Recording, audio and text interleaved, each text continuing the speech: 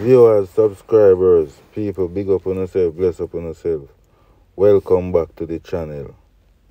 You know, Campbell TV. Man charged after leaving his ID at a robbery scene. Identification bearing Lewis information and his cellular phone was found at the scene.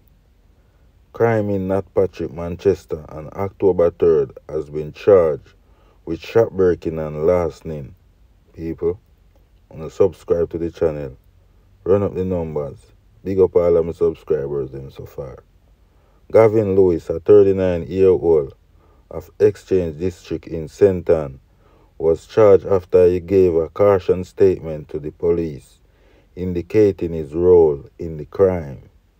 Reports from the Mandeville police are that a security company responded to an alarm trigger at the petrol service station in the area and summoned the police. When the team arrived, they saw a man running from the building. Identification bearing Lewis information and his cell phone were found at the scene.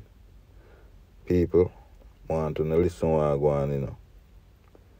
Evidence put Lewis' phone at the scene during the period of the breaking. You see what I'm saying? Cell site evidence, you know, people. Put Lewis, you know. Charger. He was subsequently arrested and charged. His court date is being finalized. The police are searching for the other men who escaped. Viewers, subscribers, big robbery. I'm out, people.